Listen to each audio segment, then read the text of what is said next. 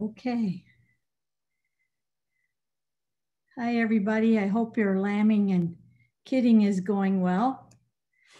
Um, I'm just going to share um, a little experience with how we're starting to branch out and how we use electronic ID as far as trying to increase efficiency for capturing some of these official ID numbers and generating a list, as Dan alluded to, and giving that list to the auction market.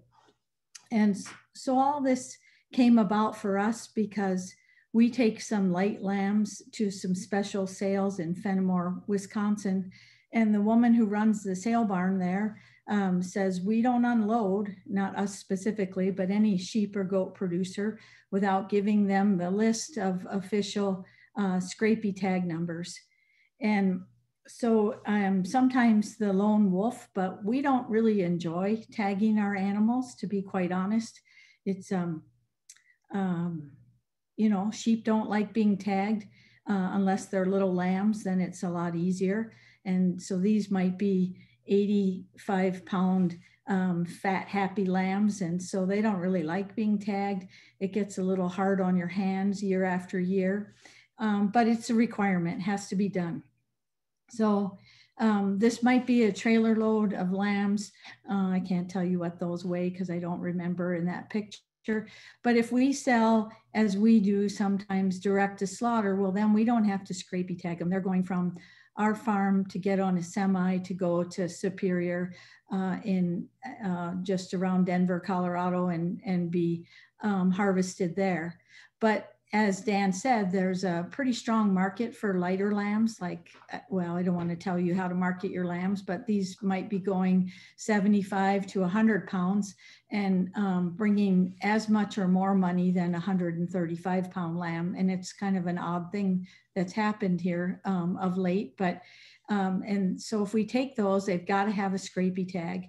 And um, we often, if they don't have tags, because on our um, pasture lambing flock, we don't tag everything, we only tag a subset, um, then, then they're going to get tagged either in a chute or often squished up here on the, in the trailer.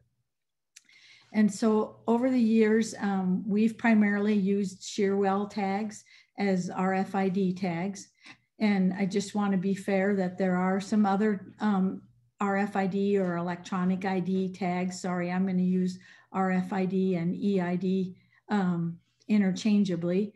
Um, and so I don't know if the mouse always shows on these Zoom calls, but this is the tag that we've used, the one on, on your left, uh, and been really uh, pretty happy with it. There is no tag that has 100% reception, I mean, retention or 100% readability, but this one is um, really the highest that I have ever experienced. Uh, and also, I love how this tag just goes in like a little piece of butter right into that lamb's ear, whether it's a, a full size lamb, whether it's a 75 pound lamb or it's a 10 pound baby lamb. It just goes in quite nicely, um, and your hands are not paying you back the next day with the arthritis. Um, these other tags are other manufacturers. I tried to put in there the text of who they come from. Um, and and um, as far as from a scrapie standpoint, um, Shearwell has approval, and I know Allflex either has approval or is working on getting approval as an official scrapie tag with their RFID tags. Um, I'm just going to move along. Sorry. Well, maybe I'll go back there. So these would be some of our lambs um, and they are wearing uh, uh, official Scrapie uh, visual tag in one ear and their RFID tag in their other ear.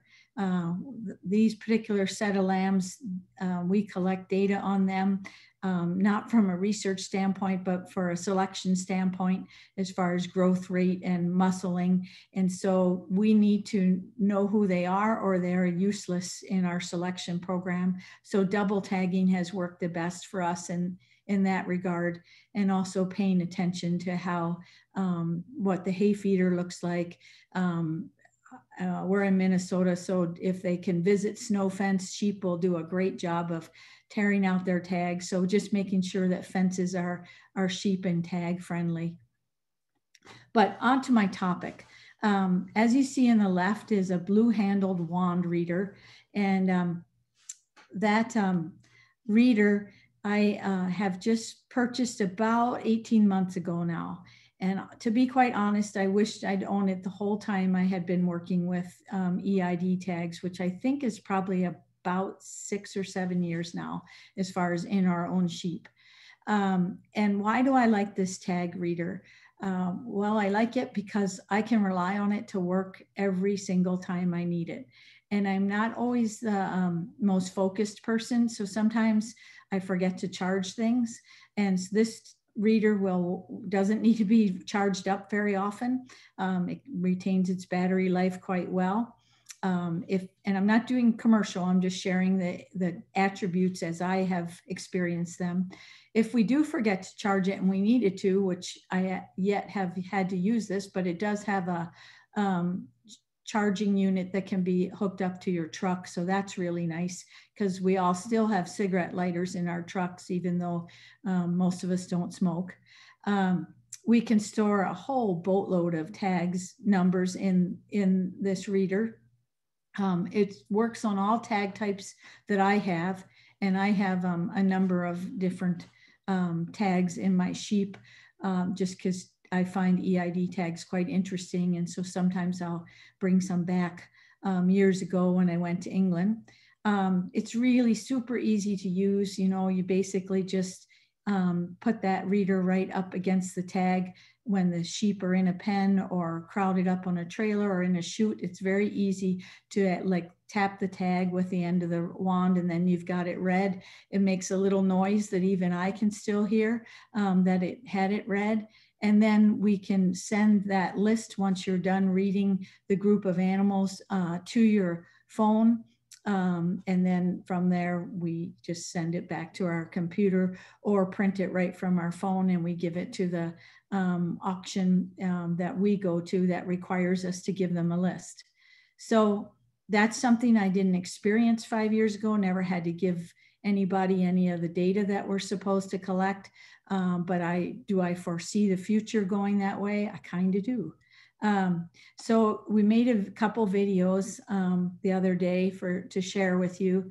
Um, so this is just a short video. Sorry for all the mess around our chute, but Jordan's just tapping these tags um, and reading them.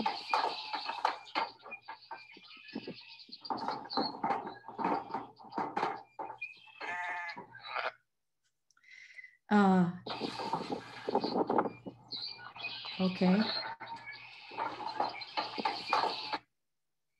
And then moving along, um, we're going to try to show you how we make a list. Um, sometimes I forgot how to do it because it might be two, three months since I made it, and uh, my memory's not what it was when I was 20.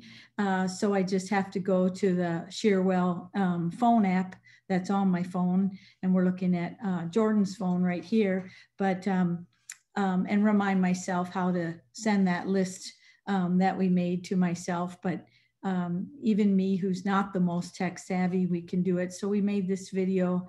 Um, I hope it'll play.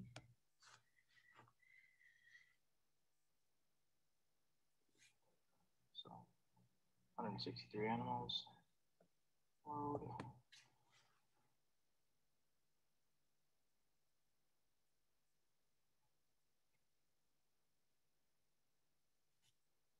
Okay, now, you want to call, it, what, do you want to rename it to flock inventory, Sure. March 2021? See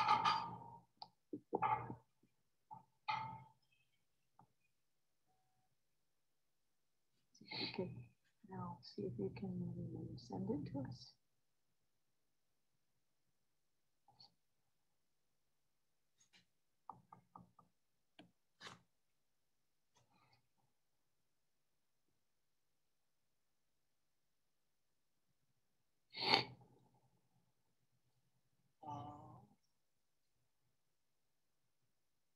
I guess. Okay. It's probably.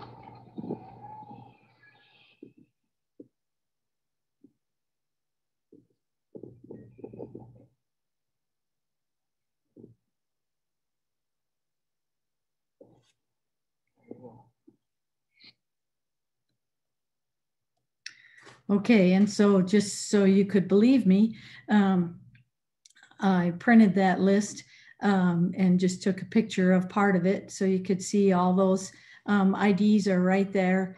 And uh, it would kind of save the auction barn uh, step um, to know that those animals came in from us on whatever day we were to take them there, or I could give it to her electronically. I apologize that I left a, another um, decimal point there that was kind of unnecessary. So um, some of you know me, a lot of you don't know me, but um, I am a proponent of electronic ID uh, in the future uh, or now and moving to the future. But I also am a practical sheep and goat producer, and and um, so I feel like it has to be easy, which is what I mean by user friendly. It has to be beneficial to our business, and Dan did an outstanding job illustrating how that could be. Has to be animal friendly, so I can remember years ago when we had tags that um, weren't always animal friendly. Like maybe they didn't want to go in right the first time, maybe they caused some infection, etc. Um, so easy to apply tags that are animal friendly and inert. Um, and we need to have flexibility. Um, I apologize for my dogs, but I think um, that's my husband's way of maybe telling me he's hungry, um, is ignoring the dogs. And so some producers are going to prefer uh, some manufacturers tags and types over others. Um, and I think any kind of system that we use for official ID and recording, we have to design it and make it work for the main scenarios that are out there and all the little nuances that are different um, flock to flock and herd to herd. We'll figure out ways to include those and make it work, but we need to start um, with you know one shoe after another and then we can make all the little pieces come together and that is all i have um, travis if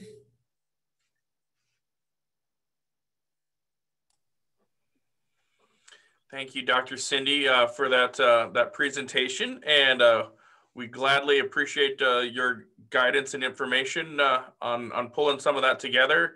And uh, we will kind of dig through and in fact, uh, several of the questions have have been answered in the chat.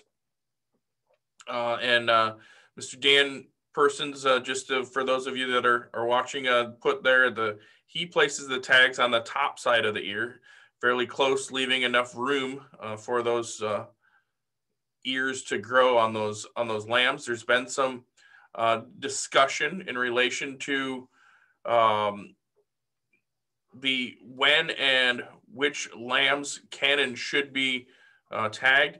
And uh, Dr. Stacy, are you uh, able to be with us? And in fact, I'll invite all of our presenters to come back and, and join us uh, via video if you can. So Dr. Stacy, uh, for, for those as we um, record this, uh, so which, which animals, maybe it's easier this way, of which animals are exempt from not having um, the scrapie identification uh, for the sheep and goats. Uh, but if not, uh, maybe it's just best that obviously people can put those tags in, but which ones don't need to have it? Great question. So in general, all sheep and goats require official identification. The exception is restricted movement feeder animals. And those animals are, there, there's a very specific definition of what a restricted movement feeder animal is. It's it's basically sheep and goats that are being fed out for slaughter and will be slaughtered by 18 months of age. There's more details than that. For example, they um, specifically, they're less than 18 months of age, and that's evident that they have not yet had eruption of the second incisor. They're not pregnant, they've never been pregnant. Uh, they have never been commingled with breeding animals from other flocks other than the flock they were born into. And again, they'll be slaughtered by 18 months of age. So it's kind of a small group of animals. And you may be aware that there are some differences between state and federal rules. So it gets a little bit complicated when trying to discern what the rules are unless you make sure to take both of those into account. So if you're looking for bringing animals into Minnesota, Minnesota is always going to be the one to help you figure out requirements for coming here. But if you're bringing animals to another state, it's always going to be the state of destination to tell you what the requirements are to go there. So those states will let you know those requirements based on that combination of state and federal rules that they would take into account. But in Minnesota, if you're moving sheep or goats around in general, it's better to tag them. Um, that's the safest thing to do unless you are one of these individuals with these restricted movement feeder animals that are going direct to slaughter um, or to terminal feedlots that are permitted by the board, things like that. Okay, Stacy, and we're going to stay with you. Uh, in, in fact, you put there in the, the chat, uh, the, there's a sheep and goat uh, call line uh, that you guys have with the Board of Animal Health. Is that correct? Yeah, we have a, a, dedicated phone line which people will call with questions. And I think there was a question in the chat about how to update information that might have been previously sent to the board. Uh, so that if if you're if you don't necessarily want to go through the registration form again, which that is always an opportunity. Even if you previously registered, if you want to update your information and you're more comfortable with the internet, you can feel free to just fill that form out again and we can compare that to the information that we have. Or there's that sheep and goat phone line, which is a dedicated phone line that's answered by staff who help with sheep and goat questions. And that number is 651 201 6809. Thank you, Dr. Stacy. Uh, a, good question here, and um, is if if electronic identification uh, is in the future, uh, who will maintain the 840? And of course, 840 is uh, the designation to country uh, that it's assigned to the United States of America. Um, and so, who will keep that information? Will it be state or federal? And when and it says when will APHIS have EID capability? For annual certification inventory. But uh, then then it's uh, who keeps that information and then where, where does it go in terms of inventory? I can handle the first question. I'm not sure uh, what the question is referring to with certification, but as far as how the tag numbers themselves are handled, uh, that inf all AIN or animal identification number tags are kept in a federal database and the tag manufacturers, when they send those tags out, enter those allocations into that database so the tags themselves are tracked. And then the Board of Animal Health additionally has access to that information, and we capture that in our database as well, mainly because we try to keep everything in the same place so that we can leverage our ability to respond to disease emergencies with all the information in our one database. So we are able to also look to see how these ear tags are moved around and based um, and based on that be able to track animals back if if an animal um, or a tag needs to be tracked. So depending on if the tags are ready in the animal or not, but but the tags themselves are also um, traceable, not just after they're in an animal, if that makes sense. Thank you. Thank you, Dr. Stacy. And in fact, uh, Cindy, uh, you talked a little bit about uh, the tag retention, and I just want to gather that just kind of from a quick approach of, um, and, and Dan said, you know, to keep it a little bit closer to the ear, but uh, I know that uh, uh, that you do see things and from an analytical standpoint. And so what, what, but still being applied, what, what have you seen in terms of retention of good, bad, indifferent, and um, or suggestions to help people out? Uh, so specific to the shearwell tag, one thing that's quite interesting, and it's probably related to our climate changes that, I mean, not climate change, I mean the fact that in this part of the country, we have some pretty extreme temperatures and a lot of humidity, and that can affect plastic. But interesting for me in the shearwell tag realm is the tag will stay in the ear, the, especially the part that has the RFID, but it might break right here at the hinge which is kind of irrelevant because as long as the tag is still in the ear and it still reads, it doesn't matter that it looks perfect anymore, if you follow what I'm saying. Um, but as Dan said, tag placement is critical. um, I guess I don't think I've ever created a problem putting the tag too tight. I maybe have created too big a gap occasionally by not having it tight enough where something could get hooked on this part and it could pull it out. But again, it's pretty infrequent.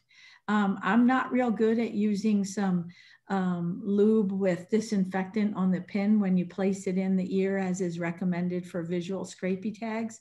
Um, but I do keep them in a sealed container so they're clean. They look clean when they go in and I think that's quite important. And I think the other thing that's helpful to me in the long run is that I primarily put them in baby lambs uh, so that ear is more of a virgin clean ear anyway. So I think that's a good idea. Is that what you asked me, Travis? That was very that was very nice. Thank you, uh, Dan. Do you have anything? Or are you okay? I'm okay. I Okay.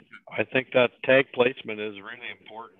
Yeah. And again, what- what Cindy said for the shearwell tags, they do recommend the top of the ear, fairly close to the head. I mean, not right up to the head, but fairly close.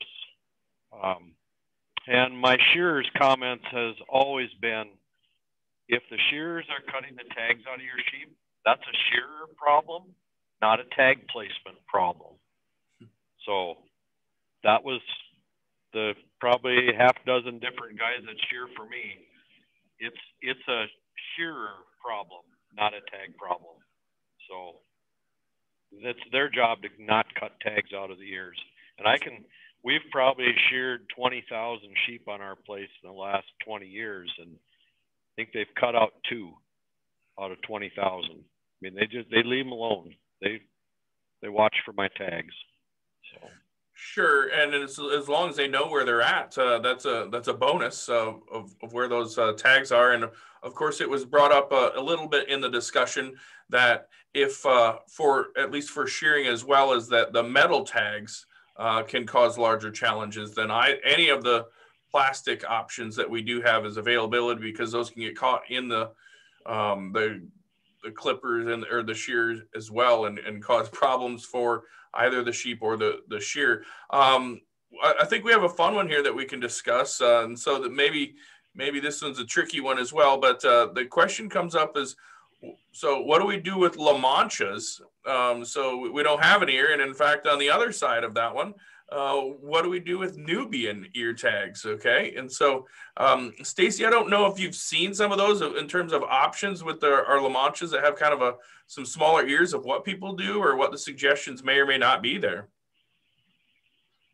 Yeah, that's a great question. And um, the regional epidemiologist with the United States Department of Agriculture has addressed this. And I, I could, um, it might take me a bit to find the information in writing, but he's addressed this in the past with uh, coming up with an alternative, which is not ideal, but an option of using a dog collar where the ID tag itself is through the holes of the collar so that the collar cannot be removed without breaking the tag. Of course, you have to be cautious doing something like that because if you have a young animal that's going to grow, you don't want to have the collar to be restrictive so that you would have to break the ear tag in order to not strangle your animal. But you also don't want the collar so loose that it can slip over its head. So that was something that was actually um, addressed as an option. And the information may be available uh, on their website. I could try to see if it's on there to post in the chat as well. But that was one thing that was given as an opportunity. Since you're right, they oftentimes they just don't have anything there in which to actually apply a tag. So if those animals are moving through concentration points, that can definitely be a struggle. If they're not moving through concentration points and they're moving farm to farm, then you would have the other options to include them if they're registered with a, uh, a registry or a state issued tattoo to be able to use that as an opportunity or the implant, the 840 implants, which again, um, are official ID, but can be a little bit difficult because there's just a lot of requirements that go along with using an implant, including that they have to travel with an electronic reader and different things like that. That's the information I mentioned that is uh, outlined on the federal website. And we have a link to those requirements on our official ID page. Dr. Stacy, can you put the ear tag in the tail web of a La Mancha? I mean, there's nothing prohibiting us from doing that, right? Yeah, I, I have heard that in the past, but I've, I've also seen information that says an ear tag should never be applied anywhere else. So I would have to say that I would probably defer that question ultimately to our USDA friends just to make sure that there's consistent messaging there but I'm hesitant to say anything one way or the other because it I have seen various controversial comments on on that. Uh, one of the uh, attendees said that uh, there's the radio frequency identification uh, leg hock bands uh, that are currently being uh, evaluated for the dairy goats in Australia. So um, appreciate that input of looking to see if that that could happen. We have a good question here that I'll I'd uh, like to grab as well. And it says, uh, what do you do if a ewe uh, that was purchased and later loses her tag? So what would be the correct answer to, to kind of get that documentation updated and improved? Stacy? Yeah, that's a great question because that's the reality of the situation. Animals animals lose their ear tags in the ideal world, if you know who that ewe is and you can refer to your records to find who she is and what her original ID is, then you would want to apply an official ear tag and marry it to that record so that that new tag number and the previous tag number are tied together so that we know that those belong to the same animal. So if there's any records associated with the animal under the original number, they can then be married up to this new number in the event that there's ever a disease investigation involving that animal. I know that may not always be possible. So if it's not possible to know what the original number is, then you would just want to document as much as you can in your records to indicate that the animal had lost their ID. And if you have a subset of animals you may know it is, perhaps you can reference that somehow. But um, as much information as you can capture would be helpful for disease response. But the perfect world would say that you'd be able to marry the two numbers together if that information were available. Okay, and uh, a, a, different uh, twist to it, um, but and you you touched on it and put a little bit in the chat, but uh, on those that were harvested at home or sold directly to the consumer, um, obviously, those aren't going through the channels that we would commonly consider on production, um, but you would want to, as the producer, have some documentation as well. So uh, go ahead, Stacy, and and you also said that we could uh, discuss and, and provide information from the Minnesota Department of Agriculture as well. Right. So if you if you're selling animals direct to the public or slaughtering at home, then you would still want to maintain the same records. So even if you're not selling the animal, you're still disposing of it. So you would still want your records for those animals that you slaughter at home to reflect that they were slaughtered at home. As far as the rules themselves or the details about what the requirements are to actually have that home slaughter or to sell the meat directly to consumers, which was part of the question, that information is interestingly enough um, not under the Board of Animal Health's purview.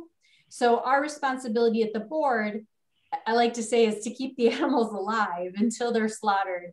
And once they get to slaughter, we have some rules that affect record keeping at slaughter plants, but the majority of the authority for slaughter is maintained with the Minnesota Department of Agriculture.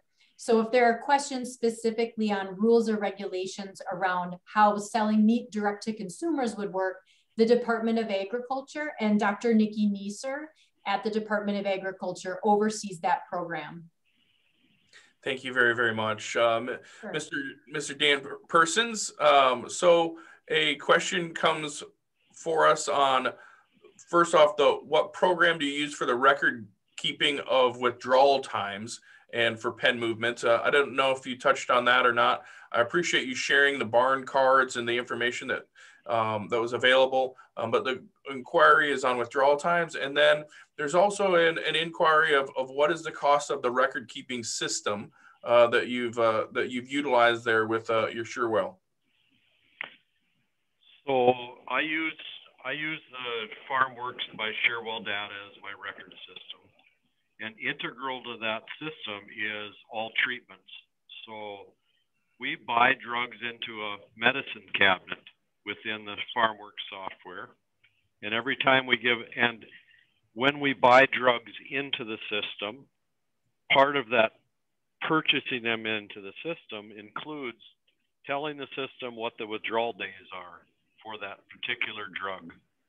So the minute we give a shot to the animal, that withdrawal date's already established on the animal's record and becomes a part of it. And the treatment of that animal becomes a, a permanent piece of that animal's record.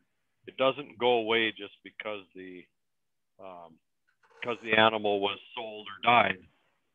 Records are there forever, live and dead animals, and all of those medicine, medicine records, therefore, are also there. So the treatment part of it is integral to our software and integral to uh, the handheld recorder we use to record all of our data on the farm. Um, that system, and I'm not sure this is the appropriate place for it, but the software and the stock recorder that we keep all of our daily records on, that system runs about $2,054 right now. So